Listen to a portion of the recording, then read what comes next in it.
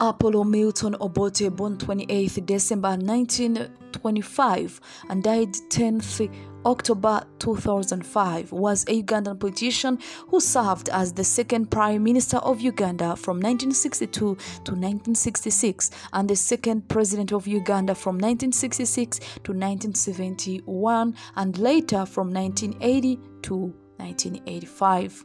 Elango Obote studied at the Busoga College and Makerere University. In 1956, he joined the Uganda National Congress UNC and later split away by founding the Uganda People's Congress UPC in 1960 after Uganda gained independence from British colonial rule of the United Kingdom in 1962, Obote was sworn in as prime minister in a coalition with the Kabaka Yeka, whose leader Mutesa II was named president. Due to a lift with Mutesa over the 1964 Ugandan Lost Counties referendum and later getting implicated in a gold smuggling scandal. Obote overthrew him in 1966 and declared himself president, establishing a dictatorial regime with the UPC as the only official party in 1969. As president, Obote implemented ostensibly socialist policies under which the country suffered from severe corruption and food shortages.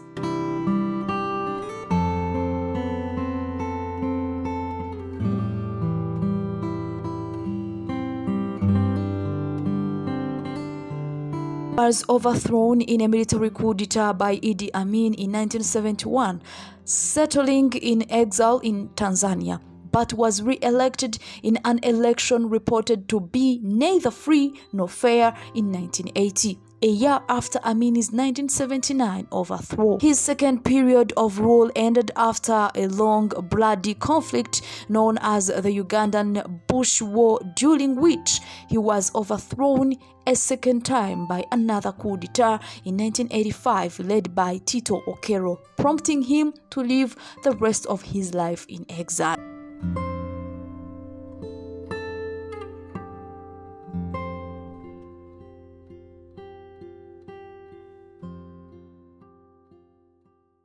Apollo Milton Obote was born in Akokoro village in the Apac district in northern Uganda on 28 December 1925. He was the third born of nine children of a tribal chief of the Oyima clan Lango ethnic group. He began his education in 1940 at the Protestant Missionary School in Lira and later attended Gulu Junior Secondary School, Busoga College, Mwiri, and eventually University at Makerere University.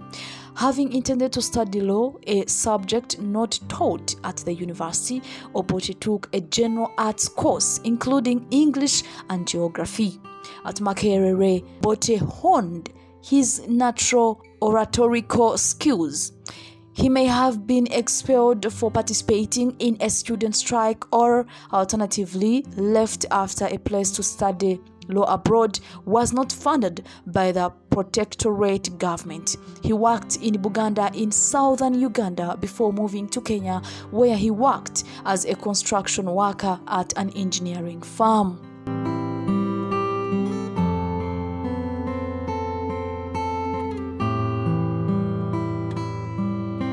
In Kenya, Obote became involved in the national independence movement. Upon returning to Uganda in 1956, he joined the political party Uganda National Congress UNC and was elected to the Colonial Legislative Council in 1957. In 1959, the UNC split into two functions, with one function under the leadership of Obote merging with the Uganda People's Union to form the Uganda People's Congress. Obote represented the UPC at the Ugandan Constitutional Conference held at Lancaster House in 1961 alongside fellow Ugandan politician A.G. Mehta. The conference was organized by the British government to pave the way for Ugandan independence.